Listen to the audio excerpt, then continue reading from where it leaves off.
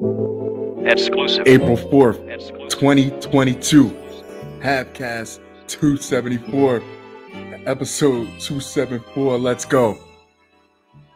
Of course, I have a few things to share with you guys. An evening of reflection.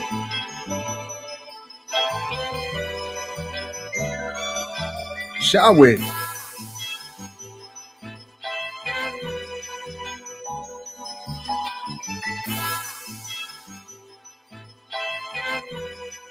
Gas theft ring in Florida stole at least $60,000 of fuel from stations to resell at half price.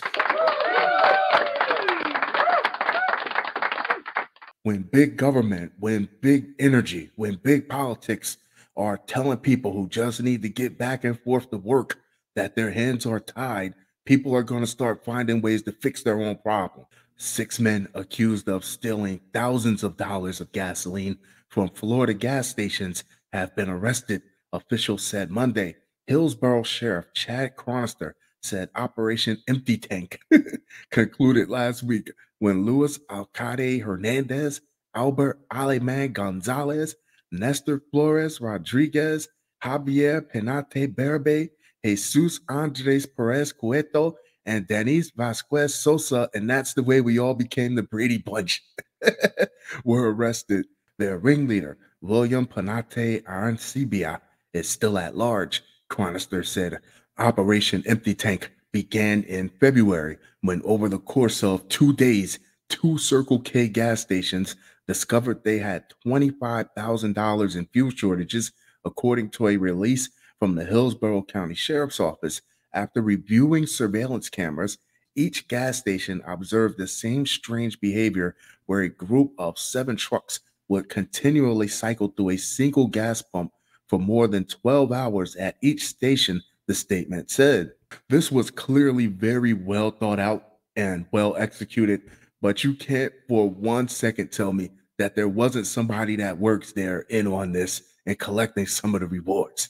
Detectives discovered that the suspects were breaking into gas pumps and installing homemade devices that disabled the mechanism calculates the cost per gallon for pennies per gallon, or in some cases, no money at all. Seven suspects were able to dispense thousands of dollars of gasoline, said the sheriff's office in a statement. Investigators determined that the suspects were stealing gas from stations all over Tampa Bay, while we have identified just over $60,000 in gas theft from seven documented events. We believe these men are responsible for far more money in theft due to their operation running nearly every day of the week. Yes, and they're rotating trucks out daily for like 12 hours. Chronister said this was very clearly an organized crime ring, and these suspects were not new to the business. You want to talk about messing up a package? How do you explain that someone gave you 10,000 gallons worth of gas and you only got 5,000 gallons worth of money? but Chronister said the men weren't doing truckers a public service. Don't think for a minute that these suspects were tampering with the gas pumps in order to ease their own burden on everyday drivers. It kind of exactly sounds like that's what they were doing. Chronister said, no, they were in this only to line their own pockets. Why not take the risk and get paid? The six men were arrested after detectives caught them stealing gas. They are charged with racketeering, conspiracy to commit racketeer influence and corrupt organizations, grand theft, and accessing electronics without authority, according to the sheriff's office. They could also face additional charges. Worker backed for walking off unfinished job after boss denied overtime pay.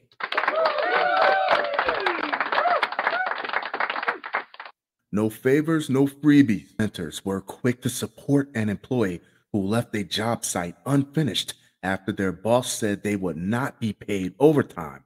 Especially if you're a good employee, these employers are always looking for ways to see what type of extra they can get out of you. If you're a bad employee, they just can't wait for you to leave. the anonymous employee, known only as Snoop Pickles, 1731 posted about their situation on Reddit. It had to be Reddit. Popular malicious compliance, where it received nearly 18,000 votes and 300 comments in 17 hours, many praising the employee for not letting their boss take advantage of them. As they will every chance they get. This comes as the US saw a mass exodus of employees in 2020 and 2021, most of whom said they left to pursue better benefits or better pay. And several countries are opting for a four day work week to enhance work life balance. In the post titled, Company refuses to pay me overtime. I left job site with job incomplete and client unhappy. the employee explained that the situation occurred a few years ago as they were just starting to wake up to companies abusing employees. The employee wrote, The employee said they were a sales rep and worked for a technology company, two way radios, and alarms to be specific. The post read, The employee said they trained themselves because there was not enough technical staff, which is already not your problem if you're a sales rep. They asked the lead technician to teach them a few things and began doing most of their clients' installations. So, off the rip, you're already doing this company a favor. They should be thankful. If not, they should be paying you more. They explained that the manager of the technical department was happy with them doing the work and signed off on their timesheets and overtime hours, which averaged between two to five hours a week. If I'm management, I'm excited about this. I have no problems because paying two or three people a few hours overtime as needed is way better than putting a whole nother person on the payroll. It went well for a few months until one day just before payday, I get called in by the owner. The post read, he had my timesheets for the past few months, which why is there a few months? If there was a problem, it should have been a month or it should have been a week for all that. He asked me what they were. You know what they are. And I gave him an explanation. he scratched my OT out, saying sales reps don't get paid OT. The employee tried explaining why they were claiming overtime and that he could ask the technology manager, but he was having none of it. Most people in management think it's impossible for them to make stupid decisions. So go ahead and hire another employee and see what those hours look like in another two or three months. A week later, the employee was working on an installation about two hours away from the office. Although they were nearly finished, the employee told the apprentice technician to pack up for the day since he does not get paid overtime. That's right. Client wasn't happy, but understands that I don't get paid to work late. The post read nearly 15 minutes later, the owner called and asked why they did not finish the job and said that the client was unhappy. The employee said they would not work late since they do not get paid overtime and said they told the client they would finish the job the next day, as you should. Silence for about five seconds as I assume he realized I was following his express instructions. And there was nothing he can do. The post read, he told me to go back and finish the job and we can talk about it later. Nope. I told him no. Yep. Unless he pays me OT, he says he will. I tell him to put it in an email before I will turn back. The owner said he would send the email, and the employee turned on their laptop and waited for the email to come through before driving back to finish the job. It doesn't pay to be an asshole if you're a manager because see how you screwed this person out of a few extra hours overtime in this same person. Now you have to ask them for a favor. And basically, they're like, fuck you, pay me. I got paid my overtime, and never again was there a query over my timesheets or hours booked. The post read.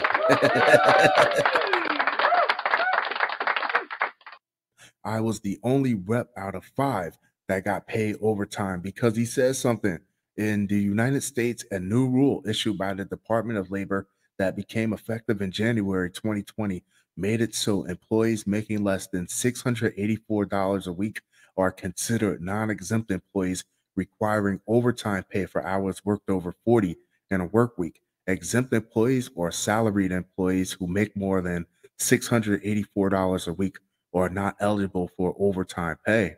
Comments, always love the comments for the Reddit. The email it before I turn around and go back part was brilliant. Never forget to get it in writing. Exactly. Great job standing up for yourself. Short sighted and unappreciative management is the worst. And there's a lot more of them than there are of people who actually have a vision in management. Wish you'd taken that to the labor board. They can't refuse to pay for work done. Another comment read, but glad you got it in writing. Man drops bag of cocaine in front of officers at Mon County Hotel. a man has been charged after officers found drugs while responding to a suspicious person call at a Monongalia County hotel.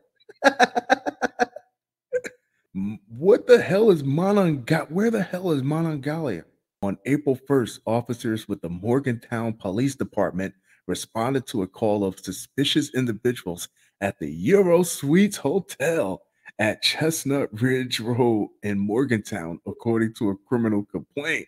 I'm going to go on ahead and assume the Euro Suites Hotel is like the Ritz Carlton of the Appalachian Mountains. oh, there he is the pride and joy of the Appalachian Mountains.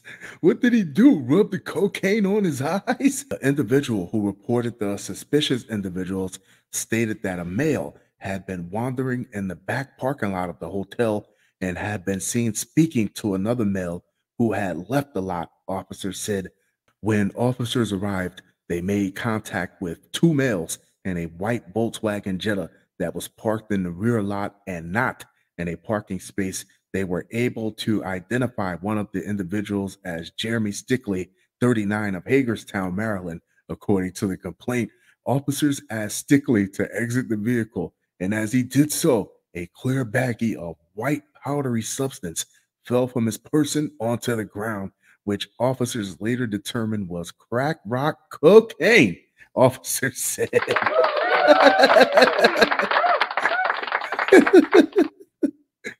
During an investigation, officers were able to determine that Stickley was in possession of multiple bags of crack, six Xanax bars, four Suboxone strips, 15.3 grams of marijuana, and a set of scales. According to the complaint, Stickley has been charged with possession with intent to deliver a controlled substance. He is being held in North Central Regional Jail on $25,000. Man arrested after exposing himself four times on a flight from Seattle to Phoenix.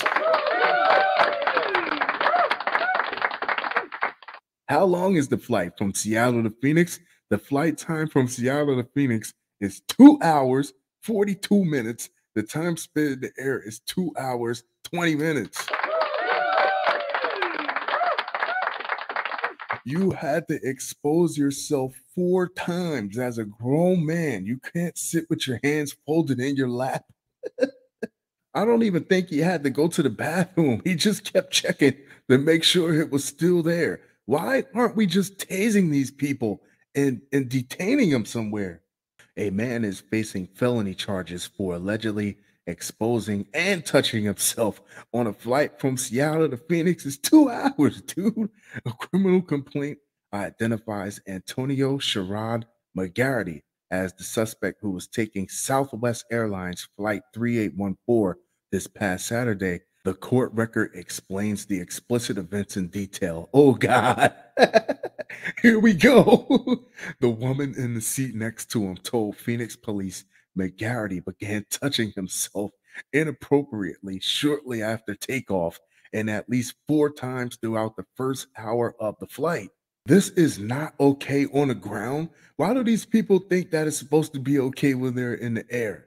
They should have tased him till his tongue turned into a chicken tender. McGarity allegedly fell asleep after a while. He exhausted himself, which is when the woman told flight crews what happened with photos she took on her phone and moved to another seat.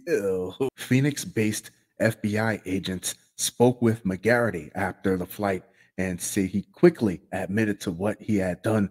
Court records claim McGarity asked the woman for permission. Really? Before the flight took off, she allegedly threw her hands in the air and said, It really doesn't matter. The court records also reveal McGarity was aware the woman was taking photos and thought she was comfortable with what he was doing. What the hell is going on on these flights? McGarity also allegedly told officials he thought the whole thing was kind of kinky, according to the FBI. He is now facing charges for lewd, indecent, or obscene acts on an aircraft.